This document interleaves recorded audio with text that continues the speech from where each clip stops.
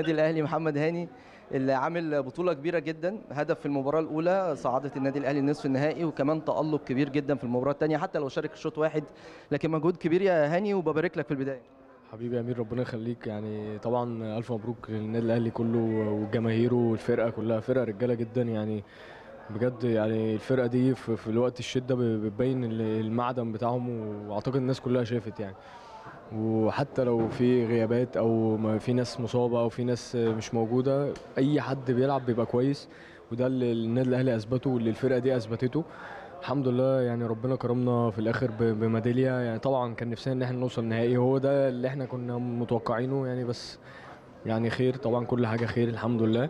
والحمد لله اللي إحنا روحنا بميداليه ميدالية برونزية يعني الحمد لله. رغم كل الظروف والصعوبات الفرقة مرت بيها إصابات ومواعيد متضاربة في في الأجندة الدولية هيأتوا نفسكم إزاي؟ آه، ب- ب- الطريقة اللي خلتكم تجيبوا الميدالية البرونزية في الآخر؟ رغم كل الظروف دي وما كانش بالمناسبة حد يتوقع إن ممكن الأهلي يكون بالأداء ده وبالنتائج دي.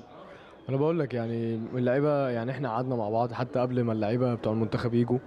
الناس الكبيرة كلها اتكلمت كان وليد. الكابتن وليد سليمان ورامي ربيعة و و يعني كل وعلي معلول طبعا يعني الناس الكبيرة كانت موجودة وكلمنا إن إحنا يعني مجرد ما بتلبس تيشيرت النادي الأهلي ده وتنزل الملعب أنت كل حاجة محسوبة عليك مفيش حاجة اسمها أصل ده مش موجود أصل ده في المنتخب خلاص هو ده قدرك هو ده النادي الأهلي فاللعيبة كلها بصراحة اتفقنا إن إحنا نعمل حاجة محترمة يعني حتى أول ماتش كان بالنسبة لنا أصعب ماتش.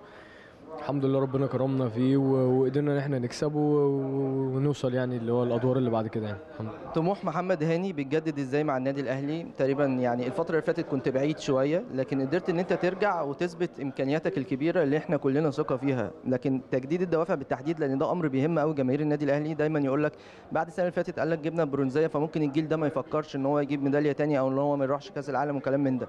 أنتوا إزاي كجيل بتجددوا الدوافع بالنسبة؟ لا يعني إحنا إحنا الجيل ده يعني الحمد لله كسرنا حتة إن أنت ما بتاخدش بطولات أو ما بتاخدش أفريقيا أو ما بتروحش كأس عالم. كنا دايما بنقعد نسمع من اللعيبة الكبيرة اللي هي راحت كأس عالم قبلنا واللي خدوا أفريقيا كانوا يقعدوا يقولوا لنا ده إحساس حلو إن أنت تاخد أفريقيا و... وحاجة تانية خالص إن أنت تروح كأس العالم للانديه فالحمد لله اللعيبة كلها اللي موجودة هنا كلها عندها طموح اللي هي عايزة تعمل كده وعايزة تعدي الناس اللي قبليها. ودي حاجة حلوة يعني كل اللعيبة اللي هنا عندها طموح عايزة توصل كل سنة وخلاص يعني إحنا بنخلص الماتش يعني إحنا خلاص خلصنا الماتش النهارده هنفرح ونتبسط وكل حاجة. آه هنرجع بقى بكرة خلاص انت بتقفل بقى القصة دي خالص. عندك بقى ماتش مهم جدا الهلال آه، السوداني هناك ماتش طبعا ماتشات الرخمة. اللعيبة كلها لازم كله هيقفل بقى قصة كأس العالم للأندية دي. انت خلاص داخل داخل في بطولة تانية وهي بتبتدي من هنا. عشان توصل تاني لكأس العالم للأندية. بس فهو ده زي ما قلت لك هو ده قدرنا يعني. توفيق يا هاني وألف مليون مبروك. حبيبي ربنا يخليك. شكرا حبيبي. يعني محمد هاني في الحقيقة من النجوم الكبار جدا اللي عملوا بطولة آه، مميزة رغم يعني كل الانتقادات اللي كانت عليه لكن واضح إن شخصيته قوية قدر إن هو يثبت لجماهير النادي الأهلي إنه لعيب كبير بننتظر منه المزيد بكل بكل تأكيد وفي كل الأحوال. إن شاء الله بإذن الله كل لاعبي النادي الأهلي يكونوا رجالة خلال الفترة اللي جاية المليئة بالمباريات وبالتحديد التحدي الأفريقي آه، شيء آه، مهم. لكن النهارده يبقى الأهلي كبير أفريقيا وكبير العرب كمان بعد الفوز على الهلال برباعية نظيفة لسه مستمرين معاكم وإن شاء الله كواليس أكتر وأكتر. استنونا.